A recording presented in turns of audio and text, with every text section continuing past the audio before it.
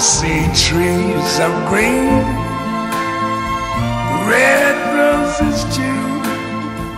I see them bloom for me and you. And I think to myself, what a wonderful world.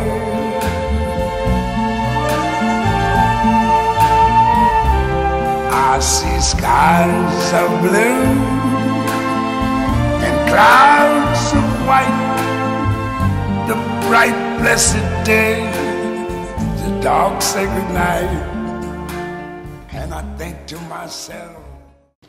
Well, thanks, Dr. Miller, for allowing us to interview you and talk to you about your educational endeavors that you've had over the last 40 years here at OHSU.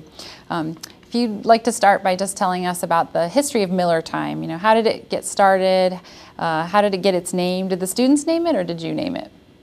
Well, it goes back to 1967 when I came back from Stanford, uh, where I was in the Department of Medicine uh, doing infectious disease. When I came back, I was spending so much time doing infectious disease for the adult services, and I was afraid that I was shortchanging the Department of Peds by spending so much time. So I developed two things. One was reviewing all of the cases, pediatric cases that came into the emergency room every morning at 7:30 over at the county hospital. And that ultimately became what turned out to be Morning Report, uh, the way it is now, which was very different then. The other thing that I started was the Miller Time, which in those days was called uh, case presentations. And it was always Monday and Tuesday at 3 o'clock. Started out up in the auditorium on the 14th floor of, uh, of University Hospital South, and then eventually gravitated down to the cafeteria. But it was always from 3 to 4 every Monday and Tuesday, uh, year-round for the students who were on pediatrics. And, the, and it was actually the students who then started naming it Miller Time. But it's actually been going on since uh, September of 1967.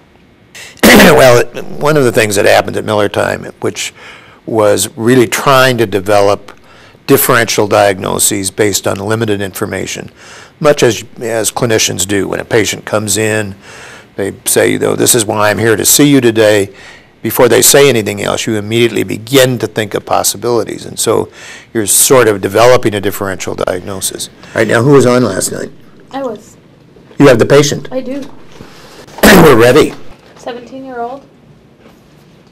African American. Male. Low back pain. Low back pain. Ooh, ooh, ooh, ooh, 17 year old white boy. Black boy. Back boy. Back pain. So he got hit by the bus and he doesn't want to tell you. Usually when people get, you know, hit by the bus out on the street, Doesn't say whether or not, he said that they he usually, or not. they usually come in and say, Yeah. hey, my back hurts, I just got hit by the bus. Yeah, so maybe he has a broken back. Okay, I'll pick something else. How about he has, mm, he has a tumor. What kind of a tumor do you want to give He him? has, um, He's got back pain. 17-year-old black boy. Back pain.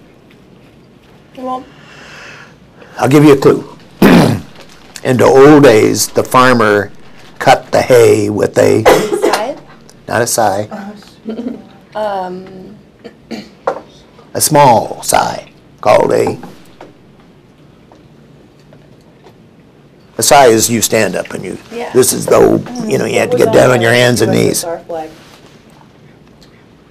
Don't confuse her. Yeah. Or what He's not young gonna black do a men tumor. have. Oh, oh, okay. Oh, like a sickle. cell. So the possibility that the thought you were patient has, has sickle cell disease. Okay, he's black, 17, back pain, possible. Okey dokey?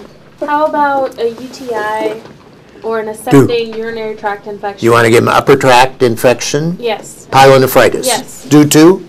Um, maybe he has Most common.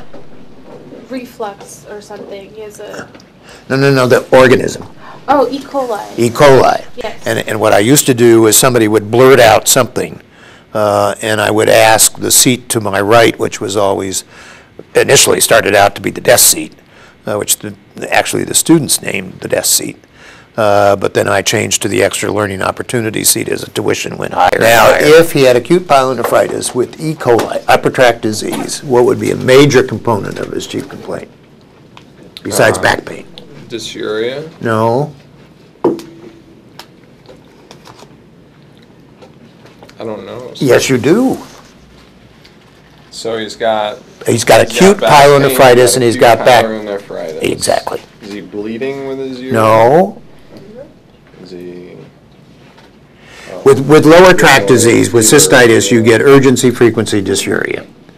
But pe- people, people with upper tract disease will commonly present with CVA tenderness, back pain, and Yeah, fever. fever, exactly. This is a 17-year-old black boy who comes in with the chief complaint of back pain. Low- Lower back pain? Yeah, Um, what about, uh, like a psoas abscess or something? due to Due to, uh. Moses. Staph Staph aureus. Staph aureus, possible. Let's see.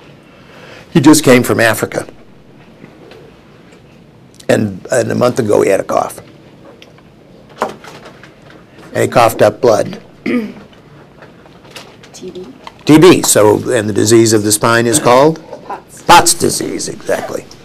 I want to say he's sexually active and he has gonococcal pyelonephritis. Yeah. well, yeah, with gonococcal, they don't get pyelonephritis, you know, they, oh, they get urethritis. Okay. Maybe he has reactive arthritis from it. Of Don't, the spine. Okay, now we're going to switch to some Millerisms, um, some of these things that we've all heard you say over the years, and maybe you can tell us a little bit about the origins of those words. Okay, let's start with Bazawa. Well, Bazawa is a Hausa word, and Hausa is the big tribe in West Africa.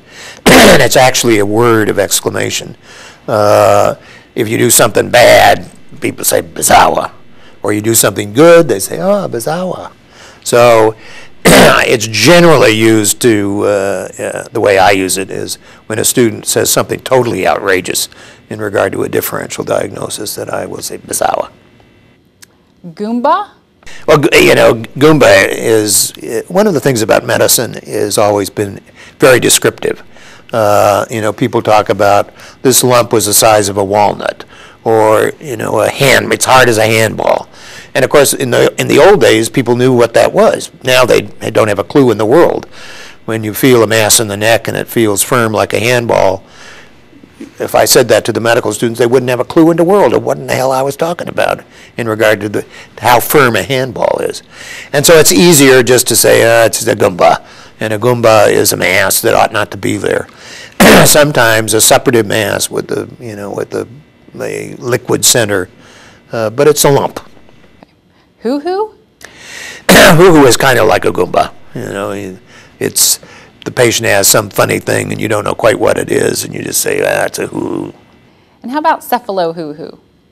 There are so many generations of cephalosporins. When first generation, second generation, third generation, fourth generation, and to try and keep them all straight, because people were using a lot of, of the second generation, cefamandole and Ceclor, and you know all of these agents that we don't generally use anymore. And so it was easier to say just you know cephalo-hoo-hoo rather than a fourth generation cephalosporin or a fifth generation cephalosporin that is now called cefepime or you know, whatever. So it was easier just to say cephalo and not worry about which generation cephalosporin you were talking about. Okay, now most people know that you are a master chef and you love to cook. So we've heard all about the outings to the farmers markets around Portland and you taking some of your learners on the ID rotation to some of Portland's uh, best restaurants. So um, those of us who are really lucky have been able to partake in some of your decadent brownies. And we wondered if you could share any secrets about these brownies or anything else about your love of cooking. Well, the, brown, the brownies actually are no secret. I, in fact, I have the recipe on my palm. And every time when I bring them to the medical students, somebody will say, "Hey, I want that recipe." So I beam the thing to them.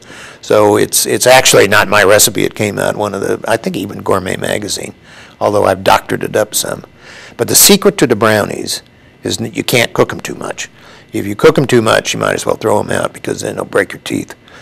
so they have to be, you know, sort of undercooked so they stay fudgy.